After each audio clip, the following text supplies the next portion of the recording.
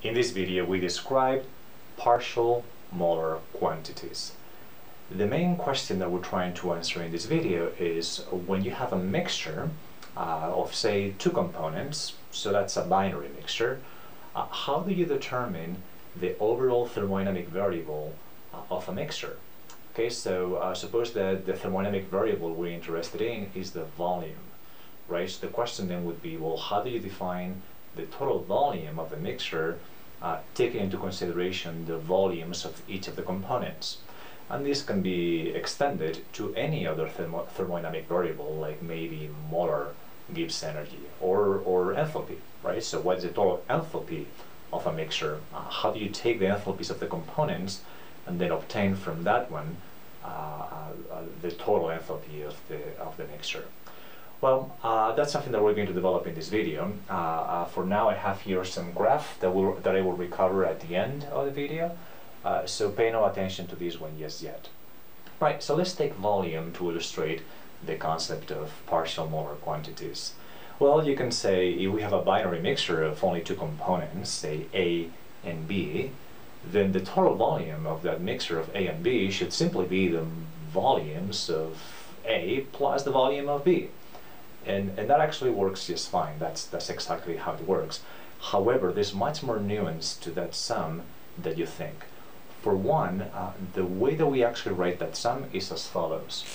Okay, so the total volume of that mixture is just going to be uh, the volume of A and the volume of B.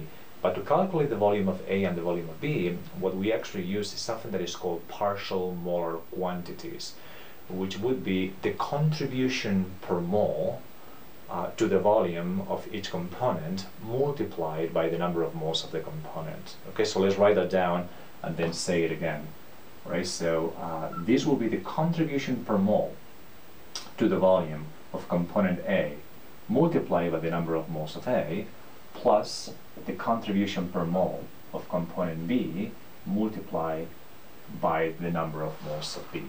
Okay, so notice that this is simply the volume of A and this is simply the volume of B. And this is, this is what we call the partial molar volumes of A and B.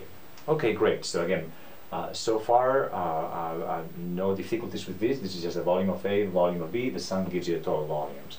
Now, the nuance in this actually comes from these partial molar quantities.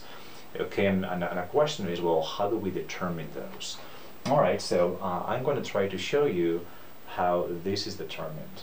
Okay, so the way that you would do, say, we're going to uh, try to determine the partial molar volume of A.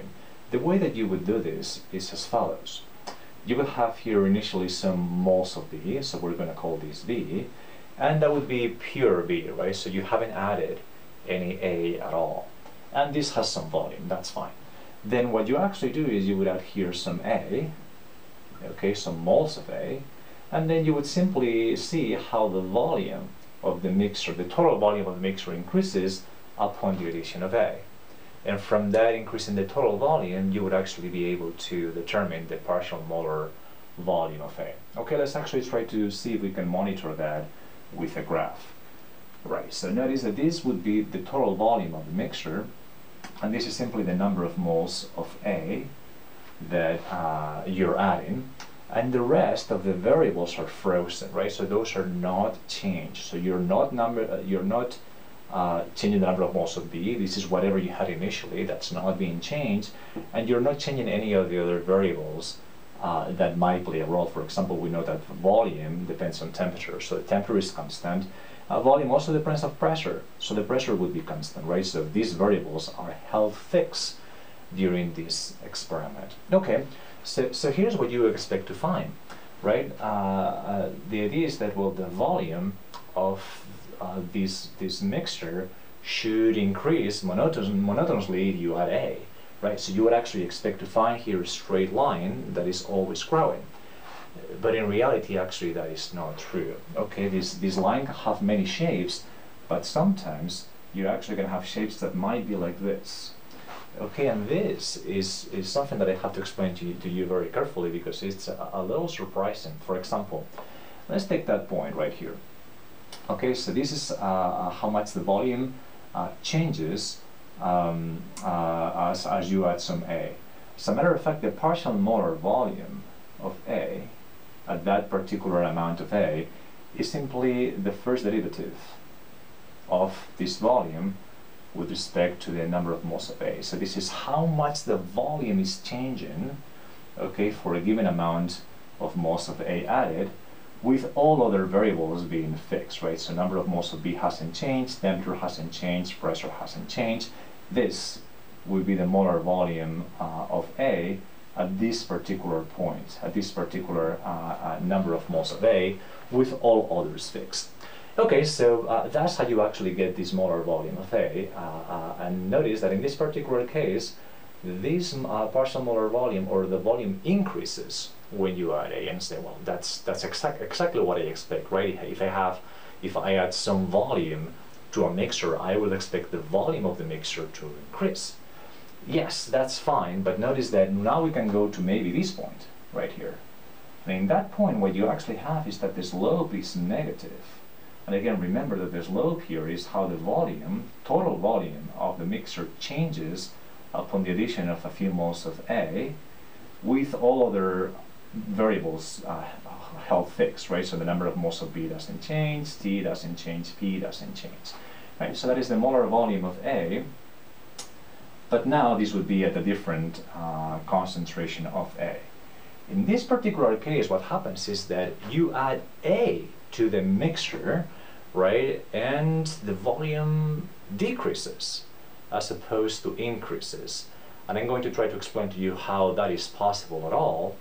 But the take-home message from this graph right here is that when you set up uh, a total thermodynamic variable for, for a mixture as a function of the partial molar quantities of the component and uh, the number of moles of each component, you have to be very careful because these partial molar quantities depend on the concentration. So when you think about volume, uh, it's not the same to add 10 mils of, uh, say, water to pure ethanol than to add 10 mils of that water to a 50-50 mixture of ethanol and water, right? So, so the volume will increase by different amounts, okay, depending on the concentration, and that is something that is quite, quite important here. Right, so let's then try to explain how sometimes you have, you can have increases in volume, sometimes you can have decreases in volume when you add uh, a component to a mixture by focusing on this uh, ethanol and water system. Okay, so this is where we uh, use this graph right here to try to explain that. What we have right here is the partial molar volumes of both ethanol and water, okay, as a function of the concentration. All right, so what we have here in the x-axis is the mole fraction. Okay, notice that this is uh, ethanol going from left to right, and this is water going from uh, right to left. Okay, so let's start here in this point. Uh, what we'll have here is that there is no ethanol present, and that means that 100% is water. Okay, and then we can try to see how the molar volumes of, this, uh, of these components are. Okay, so the black line is the molar volume of water, and the red line is the molar volume of ethanol. Okay, so let's start here with no ethanol in pure water.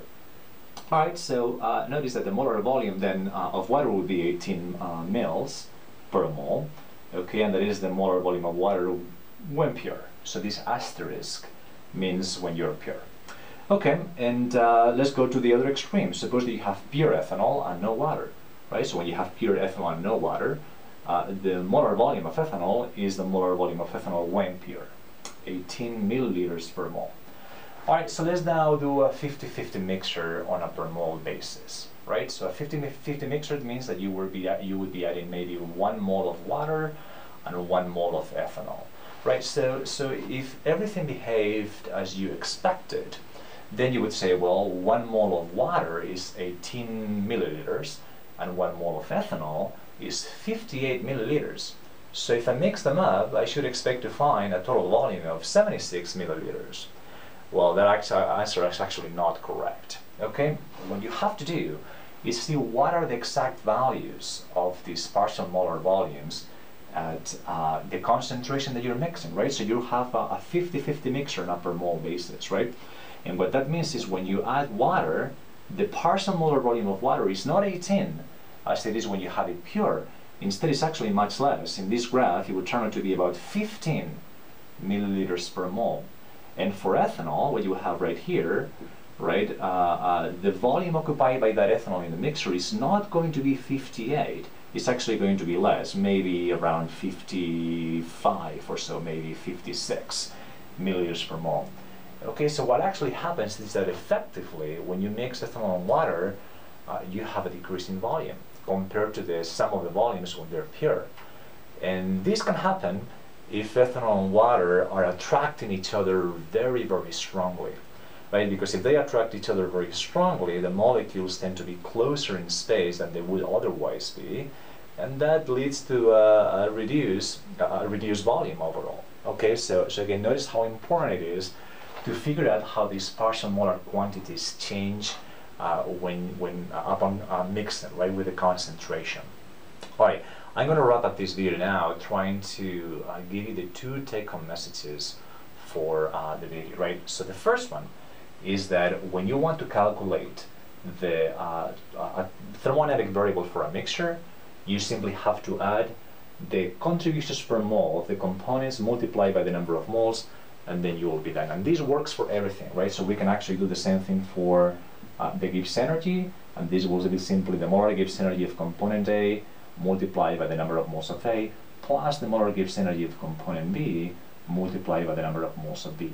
Okay, so that's, that's the first take-home message. The second one, though, is that these partial molar quantities, those partial molar quantities, depend on whether you're actually uh, uh, uh having uh, separated pure components or whether, you have a 50-50 mixer or a 20-80, right? They depend on the concentration of components in the mixer. They're going to change. And that's actually going to be something that we're going to be focusing on uh, in the next few videos for these molar Gibbs energies, which we call chemical potentials.